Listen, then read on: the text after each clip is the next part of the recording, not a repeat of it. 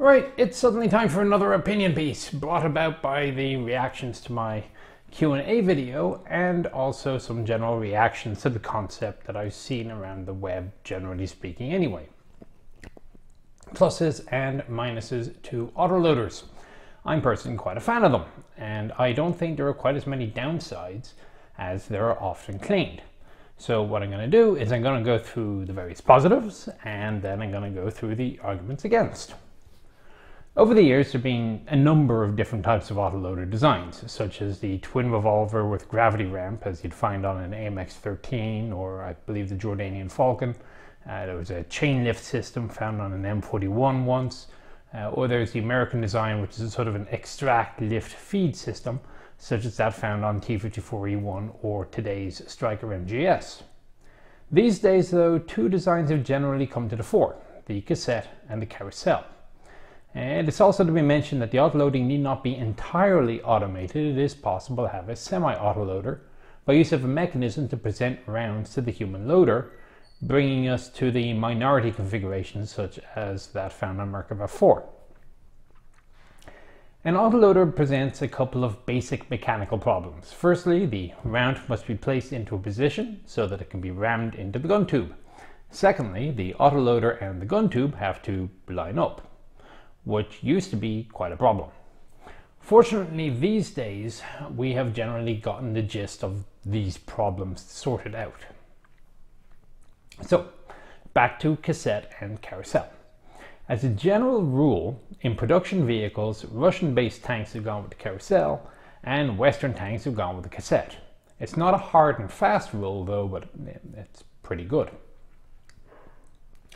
Normally you'll find carousel-based autoloaders under the turret. T-80 for example carries 28 rounds down below, the T-72 22. The Abrams TTB carried 44 rounds in the turret in, uh, in the carousel, but because it didn't need to leave room for the crew, the, uh, the rounds were stowed vertically, thus filling up the basket.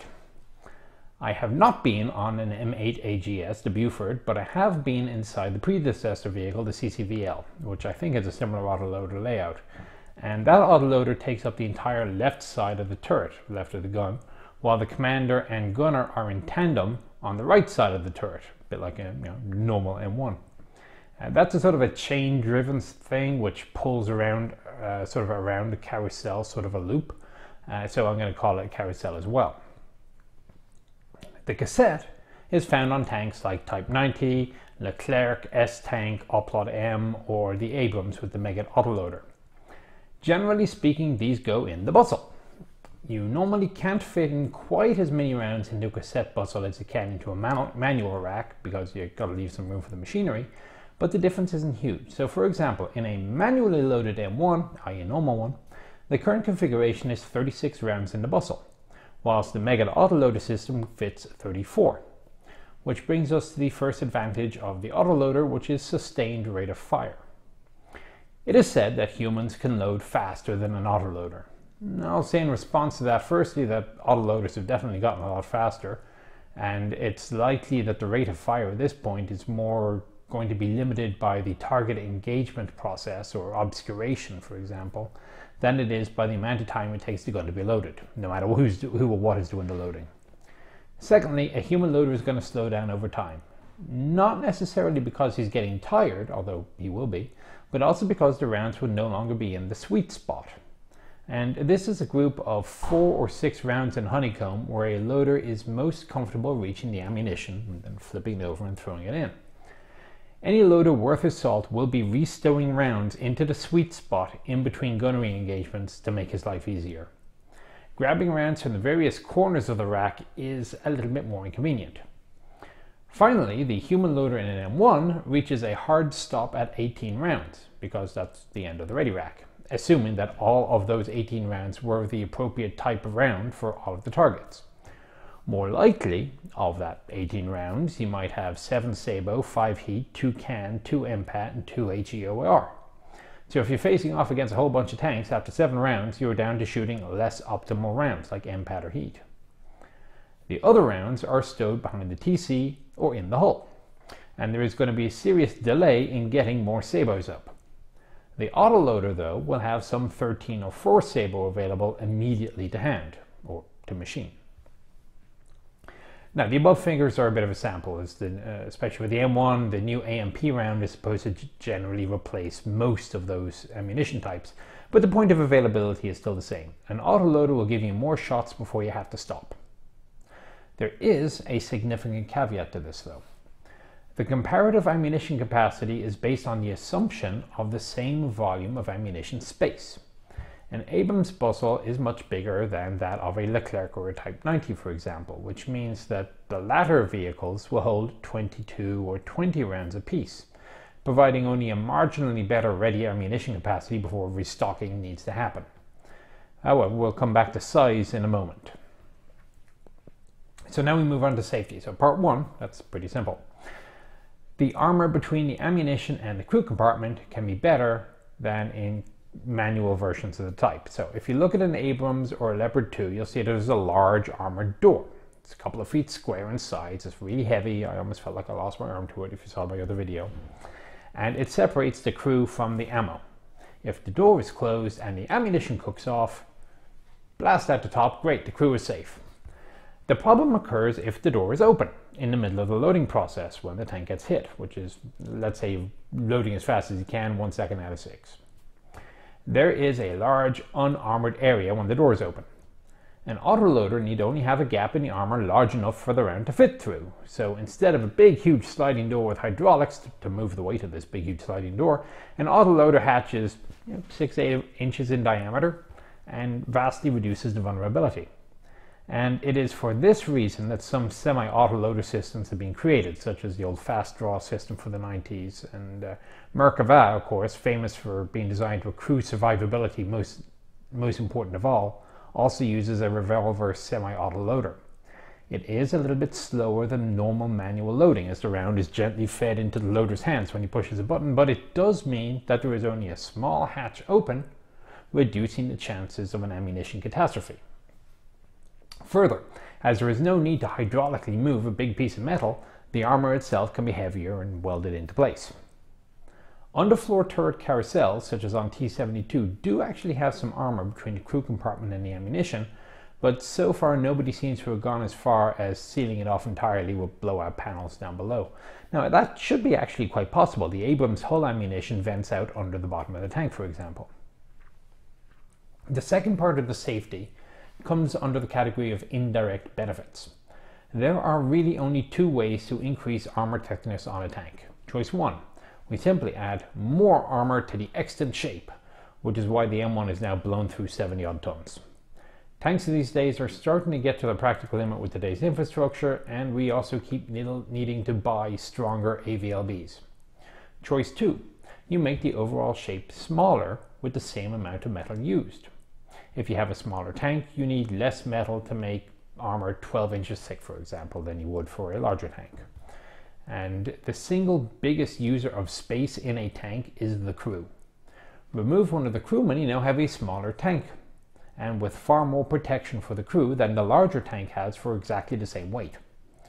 It is also a slightly harder target, it's a bit smaller, although that doesn't really make a whole huge amount of difference with modern fire control systems.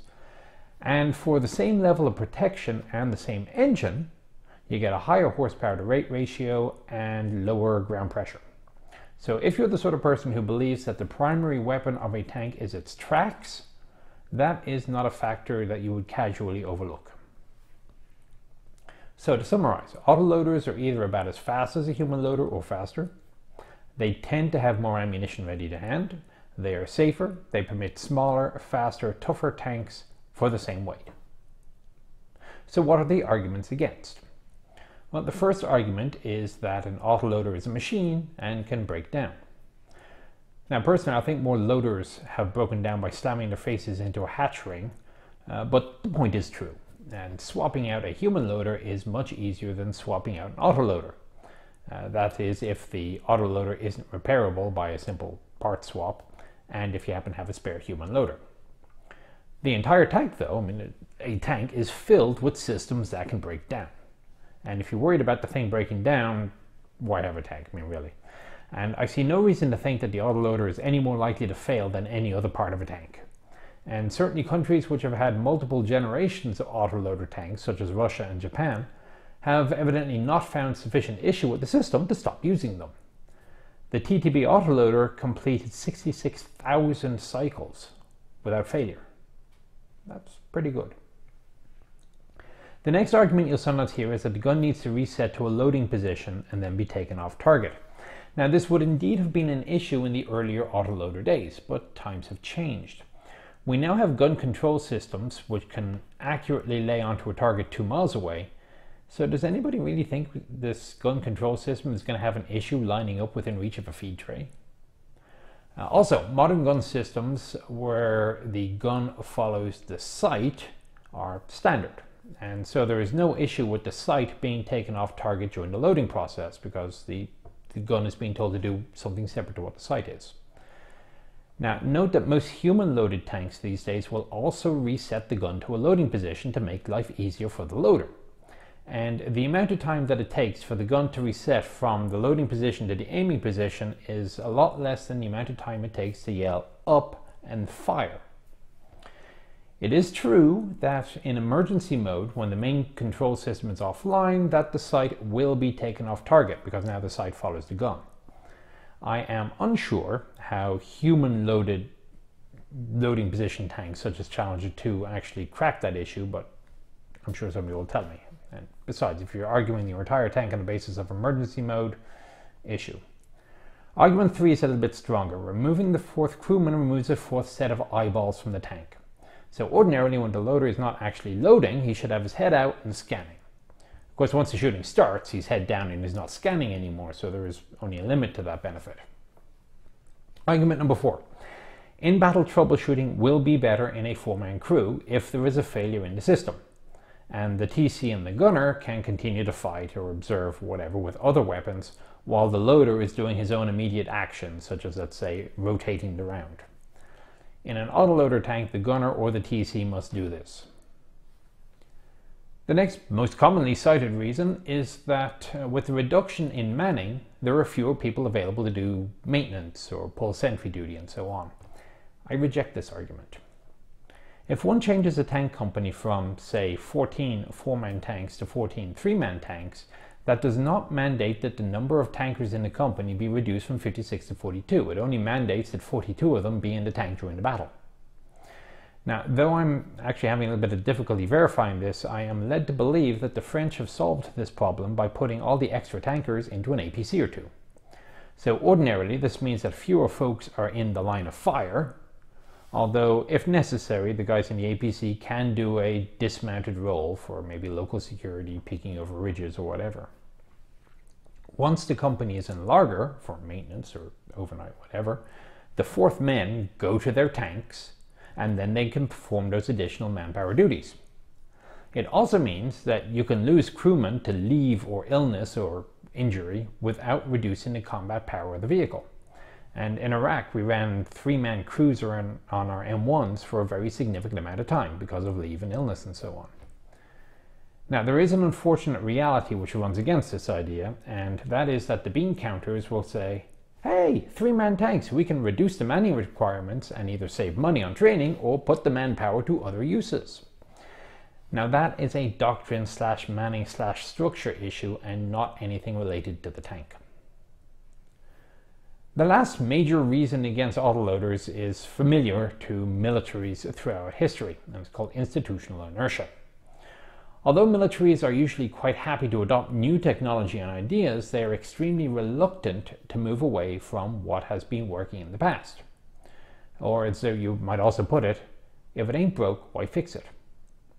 And oftentimes a change has to be forced upon them uh, despite opposition.